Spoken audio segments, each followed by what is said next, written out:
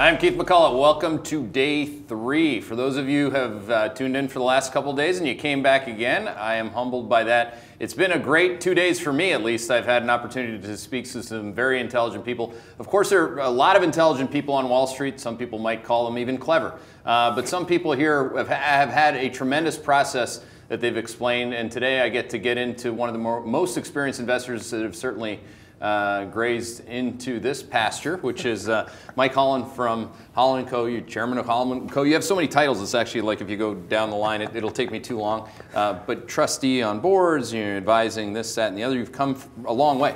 Um, and I think... It's been a long time, it's been a long time. It's 50 years, right? Yeah, 49.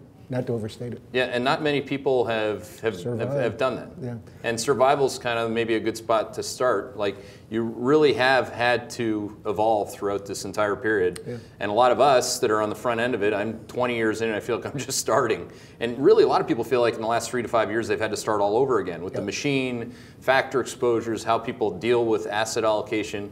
Um, but if you go all the way back, like 1968, J.P. Morgan, I think. Yeah, well I mean, done. Yes. Uh, how long? I mean, I mean that's obviously a long time ago. But but but how many things that you learned there still apply? Uh, there are some seminal things, Keith, that simply don't change. Uh, one of the things that um, is immutable is the things in the marketplace and in the economy always change. If history repeated itself. Mm-hmm all historians would be millionaires. That's a, that's a joke, but, it, but it's got a lot of truth to it. So you have to continue to learn and be aware for the moment. The game conditions change, and so you have to change the process and the, the tactics and the strategy as they change. So uh, one of the first things I did when I got to Wall Street was read the, the best things I could about, you know, obviously the Warren Buffett things, but also all the books. One of the books that I uh, have stuck in my memory was The Battle for Investment Survival oh, wow. by, yes, by Gerald Loeb, and it was a great book. But I've always thought, yeah, you know, if you can just survive, I think Peter Drucker was someone who said uh, one time, the great management guru, uh, that, and you run this business here at, at Hedgeye, um, one of the ultimate tests of a management is survival. Mm. I mean, it bespeaks cash flow and all the other things we talk about. Uh, at the end of the day, if you survive and you, can, you can play the next game, that's the key. Mm-hmm. I mean, survivorship actually, if you even look at public companies, uh, survivorship rates are very low. Right. You know, whether being acquired, you go bankrupt, the, the cycle just overcomes you. I mean, yes. think of, and, and, and I sometimes think about this when I think of some of these more story oriented stocks, because these days everyone wants to hear a story. I think on Wall Street, that's probably 50 years ago, people wanted to hear a story too. Always. Right? From yeah. a broker or whoever it might have been. yeah. Um, but you know, whether Elon Musk is successful or not, I mean, there are many railroad companies that were right that there was going to be uh, a worldwide network, there was going to be a global transportation hub network that was going to be put in place. Yeah. But those companies didn't survive. Correct. And so when, when, you, when you look at the panoply of companies that, that uh, didn't survive, and then you look at the ones that did, there are very few of them. You have to figure out why did that happen. I, I listened yesterday to the Mark Chatin interview, yeah. and he was talking about Tesla. And he talked about the lithium companies. Yeah. They're still around. Yeah. And a lot of the railroad companies who aren't around were supplied by companies who are still around. Yeah, isn't that so, interesting? Yeah, so I mean, there are some obvious things. Yeah. It doesn't take huge insight or a huge IQ to figure out, looking at, at things that have succeeded, how to identify some of the success stories and to avoid the, the disasters. Mm-hmm. On the avoidance of disasters, yeah. like uh, what are there like any like, just clean cut rules that you always start with? it might maybe a BS factor. I don't know what it might be. oh, for sure team. the BS factor. yeah, for sure that one. And that doesn't mean that doesn't mean the avoidance of huge uh, uh, opinions of themselves when it comes to great companies. I think some of the great companies uh, hide their their their hubris, if you will. But they really are great. Goldman Sachs, Chatin's uh, uh, first uh, job yesterday, as he was talking about it Lloyd Blankfein is a friend of mine. He hides his hubris very well. Th- those guys are really, they really know who they are, and they mm-hmm. really are that good. And I presume the Boston, uh, you know, the New England Patriots probably are the same way, or the Red Sox. They, yeah. you know, they, they know are as good as they. They, they really are as good, and they don't talk about it, but they really yeah. have the confidence, mm-hmm. and the confidence to continue to win and figure out ways when they're not winning to adapt. Back to your earlier question, to adapt to when people don't adapt to change they go out of business Yeah. or they lose the game. I mean, winners are hard to, to beat over time. I mean, that's a pretty simple one. For, for those of you that don't know, uh, Mike Holland was a boxer at Harvard and, and, and could have knocked you out in fairly short order. Uh, but, but winners, winners versus losers. Is, is it easy for you in life and in investment management space to pinpoint who is going to be a loser um, that is more, more of a fad or a short-term trick or somebody who got lucky? Is that easy for you or, or difficult? It's not easy, but you, over the over the decades, you, you begin to identify. Thing, one one thing that I, I know is that if there is a company which has pretty much a single product which is enormously successful and all the kids want it, and the next Christmas that's the, the toy that they can't buy, it's probably a short. So, you know, and then you go from there. Yeah. So it, it's something that is.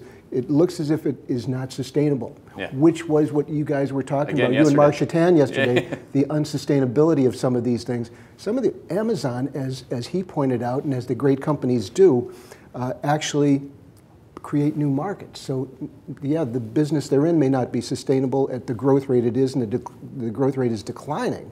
But in fact, they're onto new businesses. Yeah. I've owned Amazon a long time, and I am just in awe of how they continue to Amazing. reinvent themselves. Yeah. Um, it, it's back to the sports analogy, which, which is that if something isn't working and it's starting to slow down, you better figure out what's going on. And that's halftime of the Super Bowl. You know, you guys are in, in the locker room and they're trying to figure, you know, we're not doing very well. What can we do? No, exactly. We got to do something different. That's the mark of a winner. I mean, you're constantly changing. That's Bill Belichick 101 for you people who are not Patriots fans. I guess that's too bad I am. Uh, and, and, and he always just says, hey, do your job. I teach it to 11 year old kids that I coach. I try to teach it to 41 year olds that, that I play with who are my peers here. And anybody that's older or younger than me, it still Right. applies. Like, we have to get up every day and we have to do our job. Right. Um, qu- question, just because you mentioned um, Mark's new new fund, uh, Growth Line, uh, more than a couple times. Um, you know, is that something that is unique, or is that just decorated all over the buy side? Because for people that are watching this in the last couple days, they may or may not be able to put that in context. I mean, you were the chairman of Salomon, you know, Salomon Brothers Asset Management. That's way back, right? Way back. That's in the 80s, I think. Paleolithic age. Okay. You go to JP Morgan, Salomon Brothers, BlackRock. Like you've seen, you've Blackstone. seen Blackstone. uh, Blackstone. Yeah, yeah, for their funds business. And you've seen, so you've seen a lot of Figured out managers. Thousands of managers' presentations. Right, so- what so- I heard yesterday, that's right at the top. That's the real deal. Really? You talked about the BS factor. I've heard uh, over my head. Um, the that one yesterday was about as. For anyone who didn't see it, go ahead and take a look at it. See what I'm talking about. Could- and For those of you that didn't know, we're talking about growth investing, like how a growth manager legitimately thinks about companies that are on that S curve. And he explained it beautifully and simply and humbly. Well, the humble part is interesting because in, in that presentation, not to focus on that, that firm, but the precepts and the, the concepts that he has and the process, the idea of, of saying, we can't see beyond three years. Now, a lot of growth investors say, uh, we think for the next 10 years that uh, we got 7.5% real growth, and no one can see beyond three years. I mean, I- or- or- I, my experience is I've never met anyone who Difficult. can see beyond three years, and, and, and could be wrong within the three years. But those, those ideas are, are uh, the, hum, the humble presentation was part of, part of what uh, really appealed to me because he, he would say what he didn't, couldn't do and didn't know. Yeah, I mean that's I mean, on the buy side. The buy side will humble you Yeah. big time. I, I mean, I, I struggle with this, and I mean personally. I tell my wife this all the time. I tell people internally how I am versus how I have to present the process aren't exactly the same exact thing. Like when you're presenting something, when you're singing a song, Right. you can't just sing the song in a monotone voice with no costume and no, no bling. I mean, you actually, I struggle with that because, because you know, when I go about my everyday life and how I deal with kids at a hockey rink or whatever it is that I'm doing in real life, Right. I'm not yelling into a camera. Like, you know, but here with Hedgeye, I've had to almost try to evangelize this process.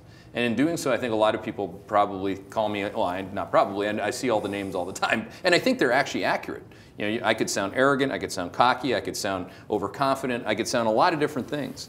But um, I struggle with that, I just, just, to, just to put it on the table. Whereas when I was on the buy side, and nobody knew who I was, and that's pretty much the case with Mark Shatton. I mean, 22 years, all of a sudden, boom, you're like, who's this guy? Right. But you know what? This guy's had a great career. His firms know who he is, his investors know who he is, and he doesn't have to talk about it. But me, I'm stuck being uh, you know in this kind of commercialized I'm. I, I'm Yeah. actually going to disagree with you. I'm going to disagree. I don't think you can get to where you've been in the business and survive by being someone other than who you are. So there is part of you that is the showman that has to be because you're in front of these cameras. Right. That's part of that's part of the when you when you're on the ice and they're telling you to play you want to play defense you're, you're used to playing up front and they say you do that you do that part of what you have to do here is make people interested if you if you're boring here if you're talking monotonal and, and by the Mark Shatan wasn't boring but No. but but he was just presenting you're in charge here you have to do what you do I used to uh, be on a show called uh, Wall Street Week with Louis Rukeyser One of the first, well, wasn't it the first show? the only show, the first and the only, and had eight to ten million viewers because it was there was nothing else out there at the time. This is again back to the Paleolithic age in television, and and he you got to write that down. and and he, you know, we'd go out after the show uh, with, with the guest, whoever it was, it'd be Peter Lynch or uh, uh, you know a Warren Buffett type or something like that, and we'd just have a wonderful dinner. And uh, he would let his hair down, and, and he- had a lot of hair actually, and uh, he, he would. Uh, so on the show, he had to do what he had to do be, to make it an eight to ten million viewer show Yeah. But he was true to himself. I mean, he never said anything. You would never say anything here. It's how you present it, because Mm-hmm. Yeah. you have to present it in, a, in, in an interesting way. Well, I, I I appreciate that. I mean, I, I mean, but it still is, you know, like all human beings, we have a struggle, right? You know, the struggle to, I guess, to communicate succinctly a process. Yeah. Which, if anything, that's what having to speak clearly in front of a camera has. I don't have, as you can see, I don't have a teleprompter or anything like that. If you don't do it the way you just described, succinctly and non BS wise, I'm going to turn it off, as are all the people watching right now. Right. You, want to hear that stuff. Yeah. Well, how much has that changed? I mean, you again, 50 years from Louis Rukeyser to, and you've been on CNBC, Bloomberg TV, Fox TV. You might have the rec- the record if there's a record for appearances. Yeah. Um, how much has the media changed? You know, throughout. You know, again, you could take as long of a period as you want since you started with. How, how long ago was Rukeyser's show? Uh, 20, 20 plus years. Okay, so how much has that changed, and is that uh, has that improved things for America, or um, you know, the the average Joe who's trying to get it, who's tapping into this media? Is it is it stayed the same? Has it gotten worse? Like what like what what is this? What is this to you? The great thing about cable, Keith, is, is that you have so many possibilities Right. of different things. And then, the, then all social media, what you're doing right here, people now can go back and look at that interview we talked about from yesterday. Exactly. And that's something my guess is some business school classes will probably grab. If Mm-hmm. I were uh, Jeff Sonnenfeld at the Yale School of Management, I'd probably say, you know what, we're going to Yeah, use that. that, use that. Um, so you have all these possibilities. I think a lot of the stuff that uh, has been on for the last several years is entertainment, and it's really not helpful. Mm-hmm. Um, I think that a lot of things that they have to fill up the day. So Yeah. there's a lot of stuff. A, a very smart investor a long time ago said. Uh, probably only two or three times a year, and you and I talked about this one of the last times I was here. Only two or three times a year does a, a, a really good investment idea appear, or a great opportunity. And the rest of the year you have to avoid doing. But if you have 24 7 television, cable television, you have to fill it up. So you're going to get a lot of junk. Yeah, yeah, that's what you end up with.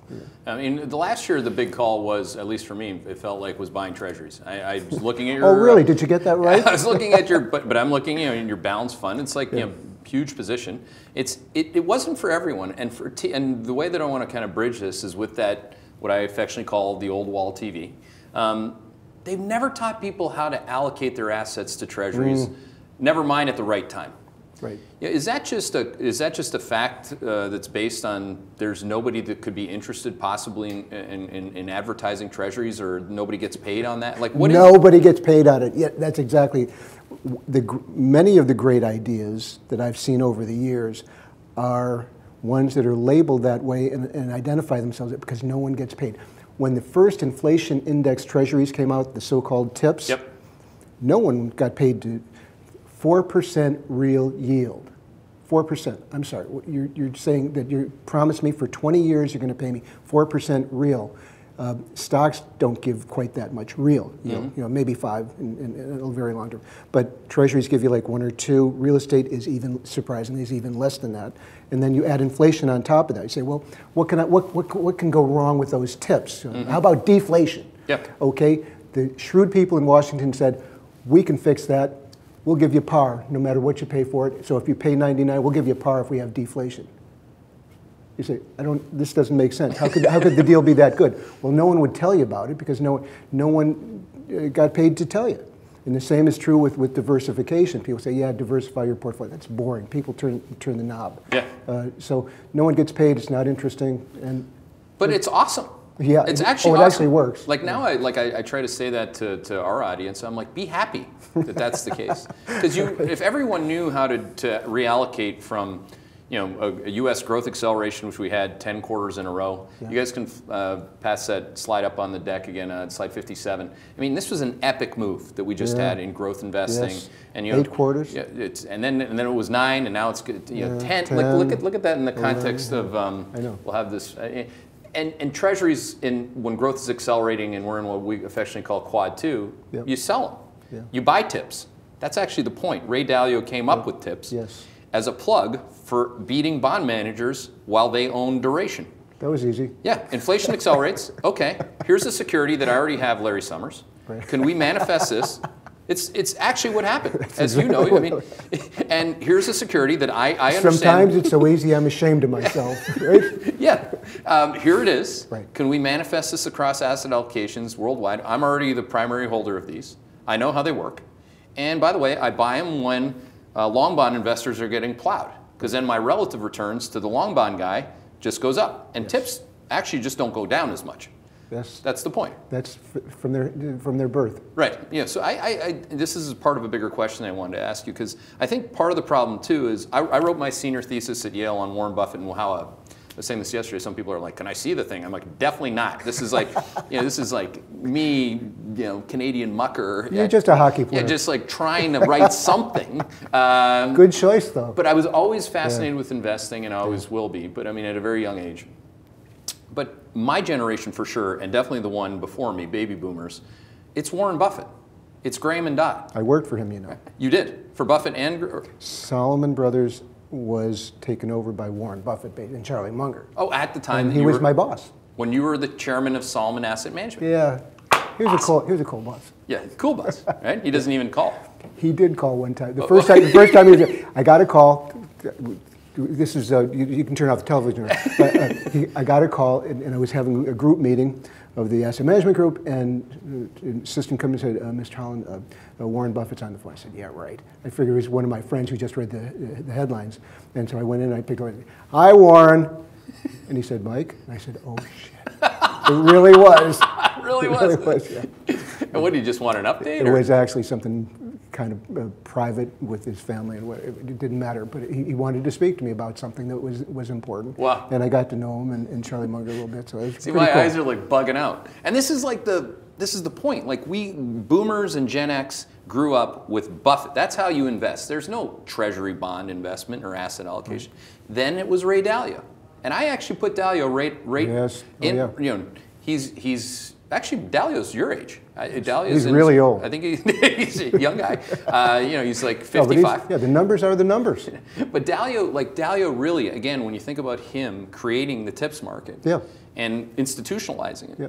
like I wonder, you know, how the people that are watching this today, millennials and and you know people that are younger than millennials, I think they're called the um, uh, what are they called? The Homeland generation, Homelanders. My kids, I mean, like, is Jack McCullough, little 11-year-old Jack McCullough, going to just do what Buffett did, or is he going to think about, you know, fixed income and rotating within fixed income, rotating within his sectors and factor exposures, which came after Ray Dalio. Then it's now you're starting to talk about the multi-strat hedge funds, Citadel, Ken Griffin, um, Yep. et cetera. Yep. Like, is that part of the story too? Is that the places, and not to name names, but CNBC are grounded still in Buffett? Like they will, Becky Quick will bring him on, and thank God, and God willing, she'll continue to because Right. he's he's he's one of the greatest Americans in the history of, of, of Americans. Right. But what about everyone a- after that? Is it just going to take time and Let's space? let's go directly, and we're going to use some sports analogies here as well. Let's go directly to Buffett. Over the long years, because when I was getting out of school myself, I read all his stuff. As I said earlier, um, you end up with some things that are maxims that he will live by. For example, don't ever let me buy an airline stock. I will never buy a technology stock. Things change. Bill Belichick will, will run the ball more when the pass isn't working.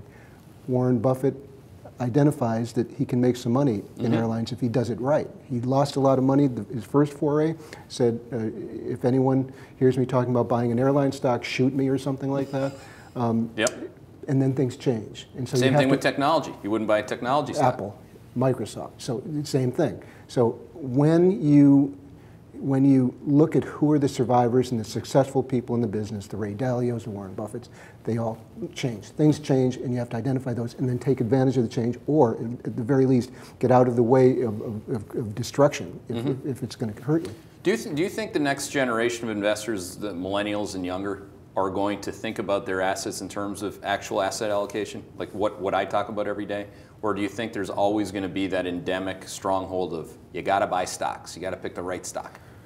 Boy, I, you know, the smart, I heard something, I've heard so many things that, that have been helpful to me over the years, Keith, and one of them was uh, so long as you, the analogy, the metaphor was so long as you get inside the right church or temple or whatever it is, you don't have to be in the right pew. You can be in the best pew in the wrong church and still lose a lot of money. You just lose less than other people.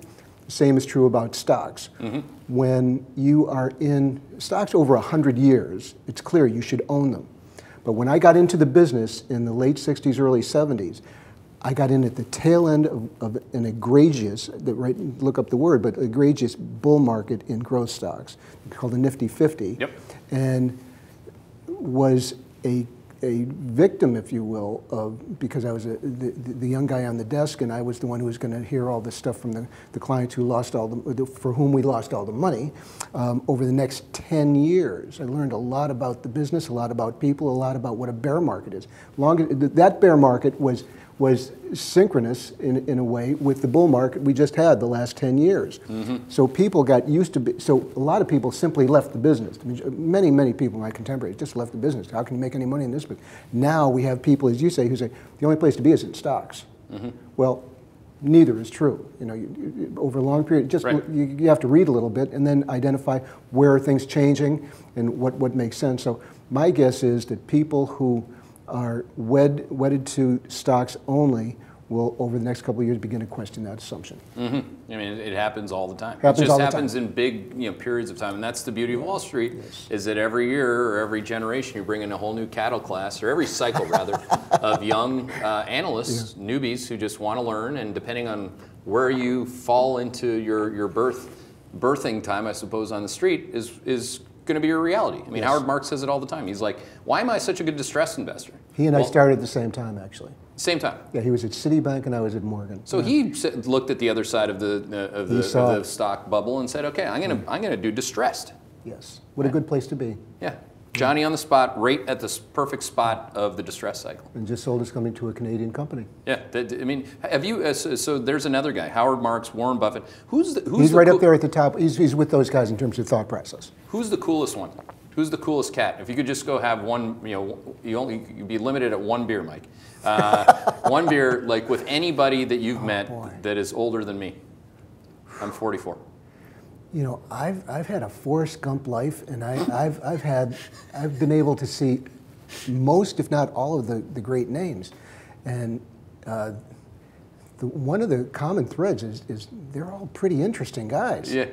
And they wouldn't have been able to, part showman, part thinker, part doer, part executor of the thing, part being able to manage people. That's a real problem for, for some of the people I've known. Um, but overall, uh, Buffett's right up there, needless to say. Uh, Howard Marks is really interesting. I, but, you know, I, who would you say? You've met a lot of guys. Who would you say? Give me, give me a hint. Uh, I'd probably go with Wayne Gretzky. Go where the puck is going. No, but go where the puck's going to guy. go, rather than Yeah. where it's right now. He And- had he had what you said Mark Chatton had yesterday, and Chatton's going to be cracking up if he's watching this because he's not Wayne Gretzky. Uh, but when we were buying the Phoenix Coyotes, Yeah. uh, Gretzky was an owner at that point of Yeah. the uh, bankrupt, what was becoming a bankrupt entity, and uh, he was meeting with us in L.A., like the new prospective investor group, and uh, he knocks on the uh, Four Seasons. We're at the Four Seasons. He knocks at the at the door. I open the door, hotel room door, and he's Yeah. like. Hi, I'm Wayne Gretzky. Yeah, I know who you are. the Thanks for the guy. introduction. I mean, we're talking. I mean, he, but he was the coolest cat. Uh, so anyway, that's I'm, I'm uh, hockey on the mind, but he, he's All my right, I'm going to give you a, a Yale-related hockey player among the cooler guys I've met, not necessarily investment. Okay. Mike Richter. Oh, really? Mike Richter, the goalie. Yeah, met him Yeah. at Madison Square Garden, spent a little time with him and his sons. My wife was with me, and we were in an elevator, just stuck there. And he, he's a pretty cool guy.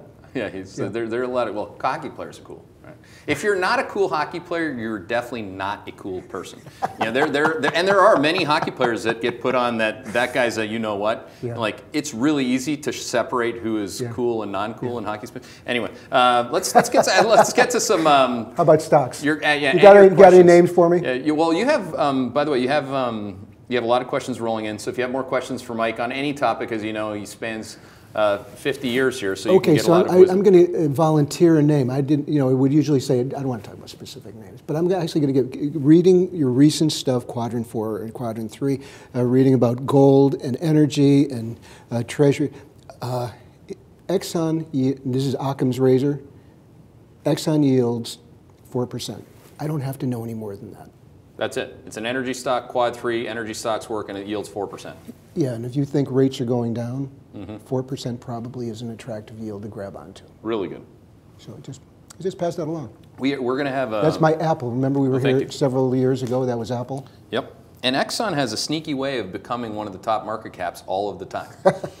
you know, it's and it's currently not. You know, it's not. Um, we, last year, you had a couple trillion dollar companies that subsequently became less than a trillion in fairly short order, and then everybody said, "Okay, we're all good again." Yeah. Um, It's getting a lot of it's also a hedge on.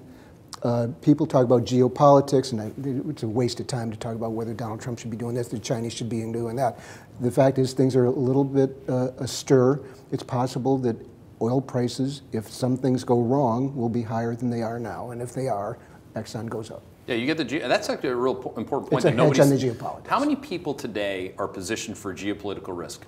Zero. They're positioned for the upside. And, and actually, you get a lot of questions because you've spent, I don't know how many times you've been to China, but more times than most people. Many, many, many. Many. Starting back, starting back in the 90s. The 90s was the first time you went I went there in 1991. Yeah. to uh, what part of China was the? Like, all over China. Yep. started back then. You, you simply went to Beijing. You started. You, you landed in Hanoi.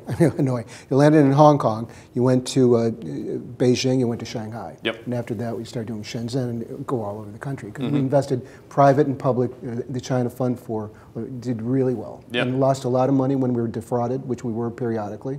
We had a Canadian real estate developer go in with us, uh, knew all the right people. It, it was on the front page of the Wall Street Journal years ago, one of the great frauds of all time. It was a golf uh, related expat community. Uh, that was a private investment. Uh, we, we did some other investing that was private, would- just went you know, 10 times our money. So Yeah. I mean, the risk reward is, is, is Yeah, what it is. you have to be prepared. Well, you have, you have a lot of questions on China and, I, and also on the Fed, but on China specifically. And what I was going to say is people aren't positioned for geopolitical risks. They're positioned for what everyone's long a call option, but they're not quite sure what that is. right. It's more cowbell, which we've had three times now. So now we're on, I called it triple dovish today. But I mean, three cowbells, but you notice how like the third cowbell didn't work out like the first cowbell? Um, and the other one is that we're bad gonna have- news may be bad news. Yeah, well, I don't like that's this what I want to ask you. Like the this alleged China deal. Mm-hmm. I mean, I've heard every adjective to describe it from our president, uh, and and I don't know what it's going to be. Like, do you think of that as a call option or a potential put? Uh, n- neither. I think it, I think both guys, and this is a real uh, mano a mano thing uh, with these two guys. They both need a deal of some kind, uh, whether it happens in June, May, April, uh, or six months from now. The markets will have their reaction, but each of these guys needs a deal for his own political life. And in the case of Mr. Xi in China, maybe literally his life, because when they have revolutions there, the guys in charge get killed. So he doesn't want that. So he wants his economy to do well. It's slowing down now, like the US is slowing down. The rate of growth is declining. Not going to zeros, not going to recession, Right. but he has to create jobs. When he doesn't create jobs, people get really restless and they've, they have a history of, of doing things that get rid of the leaders. So he wants to preserve the Communist Party, he wants to preserve wealth creation so that he can stay in his job. Mm-hmm. We, we know why Trump has to get a deal. So would you like that existential? I mean, a lot of people would say don't. In, in that regard, they'd probably reduce it to don't fight Trump, don't fight the Fed, and don't fight Xi. I mean, Xi, as you know, came. You know, the guy lived in a cave before he became politically popular. Uh, he, he's had a long road, He's a and he's guy. committed, and he's got his constituency, but he's also got that rattling within the party now. Right. Like, d- d- does is is the fact that it is an existential threat for him, quite literally, when you become king, you are going to be beheaded at some point or Yeah. some, something uh, Yeah. unfortunate. Is, is it being exis- existential make it a call option? Because he has to get it done, therefore? No, because the, the nature of it, what it is that he gets accomplished or Trump gets accomplished may be far less than anyone wants right now. That's the point. So that's, they will get something at some point. Uh, Trump today has, has talked about he wants to continue to do the tariffs. I mean, th- these are all games that, that are being played on the, on the one hand. On the other hand, you have some crazy people behind the scenes, you know, Peter Navarro and people like that who, who you know, so bad things can happen. I think the, the probability of those bad things, meaning no deal uh, happening, is pretty low. It's possible. You all, one of the things for survival in, in the investment business is you never say, I know nothing can happen or I know something will happen. Mm-hmm. There's, there are possibilities, so you prepare for the small probability there will be no Right. deal, which means you probably own, own a lot of the things you're talking about. Mm-hmm. So that's a pretty good place to be. So if you have the deal that's not the greatest deal ever, which has been effectively described, it, it's going to be great. I mean, there's no other Not way to describe it. Can't be um, great. But that's that's that's how people are positioned. the two guys can't win. Mm-hmm. They can win a little bit. Yeah, they both. go- Yeah, they can't both have win. at the same time. doesn't, It's isn't gonna, it's not gonna happen. Yeah. Neither, neither guy. Yeah. On, on Trump, like a lot, a lot of people have made a lot of mistakes if, if you're a Trump hater or you're a political lover. Um, I'm neither. I just, gen, gen, I said this yesterday, I'd say it to anybody. I just genuinely don't like or associate with politicians. I've never actually voted once in my life.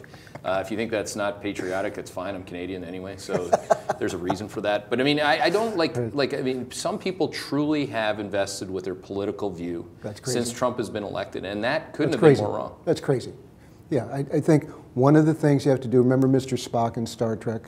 That's how you have to approach the markets. And it took me a long time. I, I made lots of mistakes by being emotional in the early years. I was a kid in the business.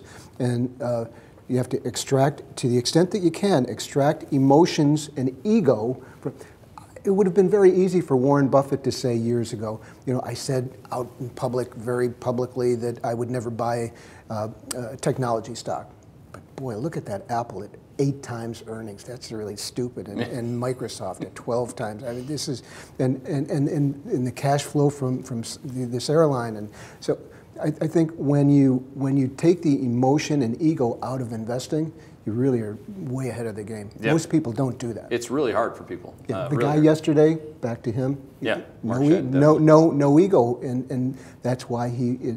And same with Dalio, Buffett, uh, you know, all, all of these people. Mm-hmm. They they step back and say, okay, what what can I do to make some money today, and how can I avoid losing it? Now, there's one institution or a series of people that work at an institution and have across your 50 years that doesn't fit that bill, the Fed. how, like, and, and since we have so many questions on the Fed, like, how is how how how have you lived through this this this Federal Reserve's manifestation to the, the I'd say the most hubris you could possibly have to bend the oceans. Um, you know, smooth the skies. However, you're going to do. It, they fundamentally believe that how they do it is the only way to do it. That their forecasts are actually accurate when 74% of the time they're wrong. Like, how have you dealt with the Fed just mentally Well, for 50 years? Once again, getting dispassionate about it. In the early years, I, I could get you know a little irate about you know the, the hubris and and uh, and the mistakes and, and the lack of acknowledging we made a mistake uh, and doing with the benefit of hindsight really stupid things like if you really want to hurt the U.S. economy, here's what you do, and the the the uh, you know Taylor rule, the, Phillips curve, all, you know the all, and I, I, I confess some of my good friends are economists, and, mm-hmm. and I still like them. But they're, you know, it, it, it's a profession that has very little in the way of saying I'm sorry, and very much in the way of being wrong by history, by facts. And so, what I, well, how I've I, I identified how I should do is pay as little attention to them as I can, other than acknowledging they're probably a lagging indicator Yep. at best. Mm-hmm. A coincident indicator, which is maybe what Powell has taken them to yesterday, and never a leading indicator. They simply aren't. And, and, and beware at the time when uh, uh, uh, an Alan Greenspan becomes anointed because you're about to lose some money.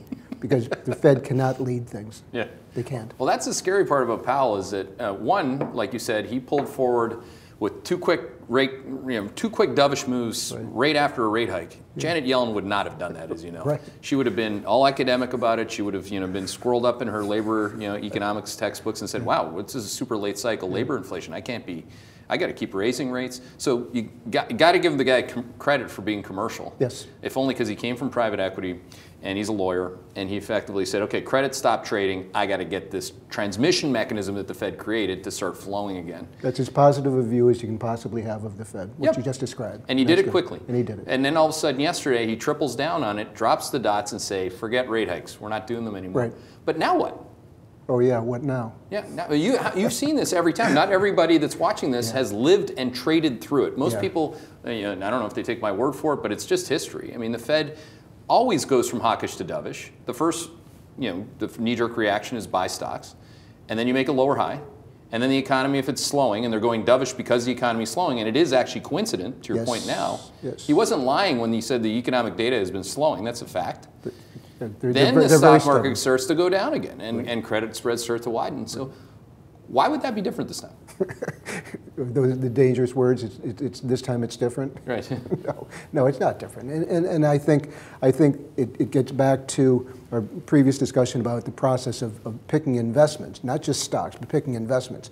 When you step back and you're dispassionate about it and you say, okay, here's, here's a piece of paper that I can buy on its own without any of this other noise, this Brownian motion out here. Uh, that was good, wasn't it? Yeah, that was good. Uh, is this something I, I, I should consider owning? And, and if the answer is yes, then you do a little more work. So I, I think it's most important at times like this when you, you the, the, it looks like the, the tide is beginning to change. So the water was coming in, now it's starting, it's right here. And I think it's, it's a dangerous time in terms of losing money. This is, by the way, using Brownian motion, you just dropped that on me. Uh, for the record, Mr. Holland went to Harvard, not Yale, and he did not, like I had, the lowest SAT, score at Yale. He actually uh, also got his MBA in finance from Columbia. So you, uh, you were Warren an, Buff- you- you were Warren an English Buffett major school. in 1966? Yeah, yeah, I know how to read books. I read a lot of books. All right, let's go. You want to take some questions? Uh, Absolutely. cool. That's awesome. The um, Let's go for the attack people first. Oh, geez. Uh, he's. He, Get a- get a nasty I got questions about Wayne Gretzky. Um, Go where the puck is going, not where it is. uh, question. Question for Mike. Is China overestimated? A repeat of Japan when you were watching it and living through it in the 1980s? Wow, that's a, such a good question. Because you lived through it. Yeah, and I used to You're spend a lot of time in Japan Yeah. before I spent a lot of time in China.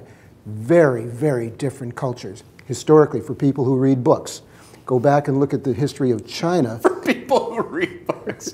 not, not as Thank many you. people read Thank you for that's picking that. Uh, China's mercantile success rate, their percentage success, how many games they won over the, they are really way up there. Japan, not so much. Japan's culture was not one that was sustainable. Mm-hmm. The way they were doing it, I'd go over there and you, you see things. And end of the story, the Chinese are an adversary for number one, the likes of which Japan never was. People were worried in the 80s about Japan Inc. taking Mm-hmm. over the world. But when you went there and you w- were with their business people, it's like, this doesn't make a lot of sense. And I could go through the specifics. The, the Chinese are different. Yeah. They, they're, they're, they're really, really good. They buy low and sell high. How's that? Just. Yep. Occam's razor. I mean, the way that these guys stimulated in 2016 into what I would call 2008, Uh, 14% GDP investment in the economy. Yeah, they know exactly what They know doing. what to do. And this time around, said, it's not so bad. We're going to do 6 to 8%. Yeah. This, they're really smart. Well, there's actually one of the better history books, um, you know, more of a geopolitical risk book, which I think if you're right on geopolitical risk becoming a bigger issue, uh, it's a, the Harvard professor wrote it and talks about Thucydides' trap. Or if you look at the rising power versus the existing power. And at this point in U.S., and I think he, he, he shows every single one that mattered, they don't all end in war, but a lot of them do. Right. And now you have China as the rising power and you have the existing power of the US. China's going to eclipse the US in GDP by 2023, 2024, 2025. Their plan is for 2025. And they're playing to win. Right? This Yes, is not. Japan. And they look out 100 years. Right. Japan, what, the same predictions were made about Japan. They would take over the world within, you know, two decades. Right. And it was hard to see when you. It's not hard to see when you go to China today, or were there five years ago, or ten years ago, Yeah. or twenty years ago, because they continue to reinvent themselves. When they see a mistake, they when they open their markets, Keith, um, and Shanghai Exchange, all that stuff, they they they were they were criticized uh, by a lot of people. Jim Chanos, good friend and a Yale graduate, uh, you know, uh, the mistakes they were making with the markets they, they righted them immediately. They said these, these, um, uh, these rules we have for closing down markets when the markets get volatile, we're going to get rid of them. They don't work. And they, they just know how to do things better. It's, it's, um, so you would say that they're underestimated. The question Long was, are they term, long term. But the question about are they slowing down today, which is really the question within the question, they're absolutely slowing down right now. And they're, they're, too, they're, they're too big now. When I first went over there, there were still uh, uh, primarily bicycles in the streets, not cars. And they're big now, number two, and they're, they're going to be number one. Yeah, I started in the early 2000s going over there to do just my own, like I was at a hedge fund, I'm an analyst, so I'm the one who gets shipped over there to do my research. And it's a lot of bikes, a lot of pigs. Uh, it was, uh, I was like, wow, this is, uh, I thought northern Ontario was a little backwater. This is, uh, This a is little rural. different. Yeah, at, at least up there we had guns and ATVs. Um, what is Mike's current, I don't know if you have a view on this, actually, that's why I want to ask the question too. Um, what is Mike's current view on gold stocks and, and have you liked them historically? Some of my best friends are gold investors. Um, and I told a couple of them, uh, a guy named David Hathaway, I don't know if you ever read it, uh, one of the great gold investors. And I saw him shortly after, years ago, people had gotten excited about gold. And I said, David, I, there are two things that I can do. I, I can um, buy, um, I can go short, I can short something, or I can buy gold. And either one of those is going to be a money loser. I mean, I, I can't short to, to grow hair. Um, and I can't buy gold stocks. To me. So I top ticked, I, I bought the GLD. And I told him, I said, you probably the rest of your life will never see gold at this price again. Yeah. It's just going down from here. And it's never gone back to that. So I think I defer to people like you because you're saying that inflation is going down Yep.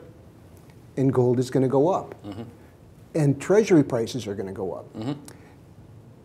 And I have enough humility to say I know a history of gold being related to inflation, but if you think, and then I, but I also know that the, the, the spirit of the markets would identify that's probably the right course because people don't want to buy gold today the way they did back when I starting, I mean, I mean, partly has to do with the Bitcoin mania. People that just don't, you know, a lot of libertarians, a lot of people that don't believe in government. They hate fiat currencies. There's a lot of reasons to agree with that. Right. Um, but they just, you know, they, they overloaded on their Bitcoin exposures and underweight global positioning. And gold has never been. I mean, coming into not now it's about, starting to climb. it's not about inflation, it's about other things. So Right. people who are smarter and more adept at doing this stuff, Yep. um, uh, uh, that's, I would Yep. defer. You know who's uh, adept at it? Uh, uh, the people you just mentioned, the Chinese. Nobody's Oh, yes. taken more physical delivery on gold. You know, people are bu- buying GLD is one thing.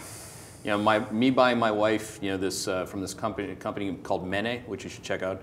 They mark to market basically any piece of jewelry you buy in gold with a 10% markup against you know, the actual gold price. So your wife, like in my case, she's her jewelry is is trading in real time, so she could lose that, especially if I go bearish on gold. Um, so some people know that I've, you know, that's a company that I've been interested in expressing the way that I do it. Physical gold, gold miners, you know, but the actual physical delivery of gold. Yeah. Um, the Chinese on the Shanghai Exchange are just taking gobs of it. Yeah, you Yeah. take the other side of the trade with the Chinese at your peril.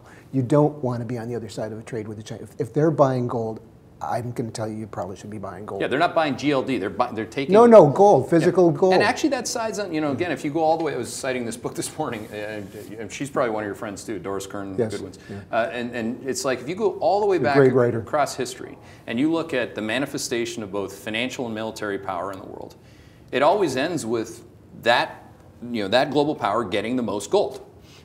you confiscate it from those that you're, you know, uh, you know, confiscating from, and, and, and the Chinese, they're building their position. Yeah, when the Eng- English uh, uh, moved away from their position in gold, the U.S. took over.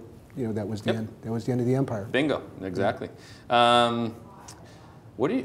I don't. I don't know if you you know how to uh, to go with this one. Um, what did you think of the economy of the Ming Dynasty? robust, robust, robust economy. You know, uh, this is good porcelains. As, as, someone, as someone that studied civil engineering that wants to break into the field of investing as a career, uh, what early tips would you give me, Mike? I've been paper trading, but it seems like nobody takes a look at my resume because of my work experience in engineering, so I need to get good at this. Well, engineering, I think, is a, a, a really good background for, yeah. for, you know, you talk about process uh, as you were yesterday. I think uh, the, the problem is he has to find a mentor. He has to find someone who's really good, a Sig Sigalis, if you will, who, who uh, uh, Warren Buffett, I mean, you can't get a job with Warren Buffett, but uh, join, join a smaller or large group where he, he can be mentored by smart people. Mm-hmm. Getting in the door is a big you thing. You have to get in the door. Yeah. yeah. And it's uh, and if you can't, it's a tough thing. I mean, that's yeah. I was I was lucky enough. That's the I guess that's the beauty of, of being a hockey player. Yeah. Uh, is that you know you, you have those connections, and I was lucky enough uh, to get my first so call Keith, he'll get you connected. now I have people talking about the Ming Dynasty, one ounce gold bars versus other. Uh, we have people talking about Wayne Gretzky. We've, we've traversed quite the uh, path here, guys. Women, uh, there's, I like there's women. Somebody, yeah. yeah. he likes, Mike likes women. Uh, we got that, that covered. Uh, gold, again, gold. oh, does, does Mr. Holland actually use Hedgeye? Yeah, of course. Are you kidding? I have a son who works here. this is, you, how, how many places do what Hedgeye does? This is impossible to avoid. Who, else, who would you consider your best competitor? Uh, independent research providers, but they would be not a team. They right. would be, in some cases, they'd be single single shot experts. Like you'd have a, a great biotech analyst. You just here. said there is no competitor. Well, and there is no competitor. No one else does what Hedgeye does. Mm-hmm. No, this is not a commercial. I'm just. These, these, are facts. There's no one out there who do, does what you do. And if you look at the record over the last 10 years, facts are stubborn things. You've identified a bull market when other people are saying the crap is about to hit the fan. Um, and then you identified when it was pretty much probably over and then you identified asset categories. So you have a bunch of people here who work, and you take the ego out of it, and you just say, "Here, here's the process. We're going to get this." So, not a not a commercial. I'm I'm observing what's going on. Well, thank you. So how would I ignore that? I, mean, I, I yeah. appreciate that. What's a fact? I mean, it's uh, you know, not doing it with. I mean, I've, and I'm not blowing smoke. No, there's, there's, no reason. This, this, is this is what you guys do. Yeah. And so it's a great question. Did you your wife sent that in? No, she did not. She did not. There, uh, it was actually Bill. Uh, so thank you, Bill, for uh, teeing Mike up for me there. yeah. uh, let's see here. Uh, I used to watch. Oh, and by the, by the way, I wouldn't I wouldn't be here if I didn't believe what I just said. Okay. Yeah, exactly. Oh, um, I realize market moves up and down every day for a lot of reasons, but why are the GAAP earnings that you used to, or that we all used to care about no longer relevant? No longer relevant. I, I have trouble with the question actually. I, yeah.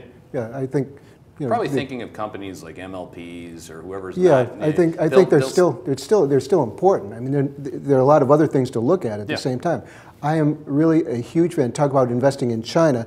People used to say, with some uh, credulity, that uh, forget what the Chinese tell you the GDP is. They say it's growing at seven percent. Nobody nobody knows. It could be three percent. It could be ten percent. Um, but the fact is that we, we were over there investing in companies, so we knew at, at least the top line, we knew how much they sold. Yeah. We, we would visit the factories and we would look at the things they sold, and we'd see them go. And so we had a pretty good sense with a lot of them what, the, and so when you get cash and you get, get reasonable accounting standards, GAAP still is important. It's not the most important because there are a lot of other things going on mm-hmm. in the mm-hmm. markets today, but still important. I think some people, they just, you know, it's, it's almost this defeatist, like yeah, the, the, the question is, it implies this defeatist yeah, comment that some yeah, people yeah, think. It's like, oh, no matter what I think politically or what I want to see happen politically or um, I want to see the market go down, it just can't happen. Right. All you got to do is buy stocks. The right. Fed is just going to save everything. So people have almost a defeatist attitude. And money managers, too. As you know, hedge sure. fund manager returns have not been pretty for the mm, last decade. ugly business. And a lot of people say, hey, that's not due to my own inability to evolve. That's because the game is rigged. right? You hear that. I hear that. I've heard that so many times over the decades. Right.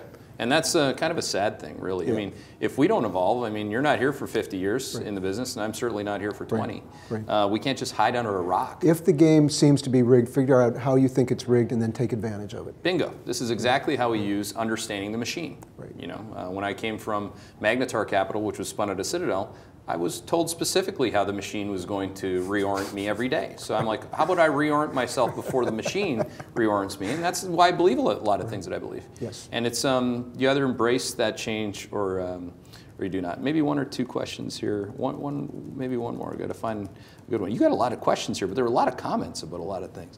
Um, What- What's the nastiest one? Oh, here's one. Um, can you explain why? One more on China. I think you- again, your experience in China is, is second to, to very few.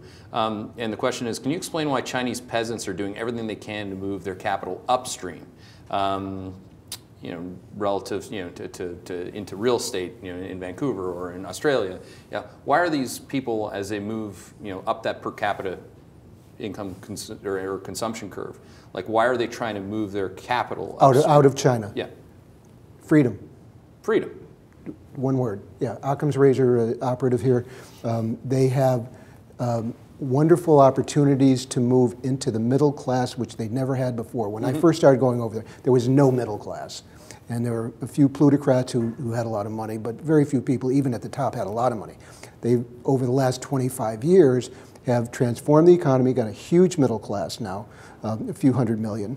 And a lot of, but the, the, the really wealthy people started buying in Hongcouver when I first started going over there. They were already doing that. Yeah, I mean, it's uh, finally people on Wall Street realized it was a real estate bubble like last year. Yes. But there's a reason why they call it Vancouver. I mean, it's not like, um, Right. you know. But so- the, but the lack of free, there's no question that, that the lack of freedom is, is particularly for the millennials and, and the younger who have grown up with a lot of things that their parents and their grandparents didn't understand. They understand that if they, if they go to Yale, if they, if they go to Vancouver, things are, things are going to be interestingly different for them and probably better. Mm -hmm. and that, that, I can't imagine that that's going to change. No, it's growing. Yeah, if, if anything, it's, it's manifested uh, at a faster and, and, and faster rate. Right. Um, I guess that's why this other question say, says, says if, if, if it's so great, then why do all these Chinese billionaires, why don't they just flee here? So the billionaires, but that's a different strata. You're talking about. You know, and that's an interesting question itself because the people I know who are in this group uh, have families there, large families, and they have political connections and military connections when they look as if they're going. A lot of these people are members of the Communist Party. It's one of the ways. to billionaires, be- that's the only way you would how be you get there. Chinese billionaire, Yeah, right. and to leave and go to Vancouver or New York, um, there's some other risky things going on Hmm. at the same time. So they, they can't do it. They can't. Yeah. Well, that's uh, as insightful as I could keep going and going and going. but you see that they're giving me the uh, the orange card there, which is, is the Danielle says uh, she's here. Yeah, Danielle's here. That's who's up next. But again, thank you for, for joining Mike and I in, uh, in what was pretty much a personal discussion by the end of it all. And then we traversed a lot of different things in markets. I certainly learned a lot. I, I hope you did too.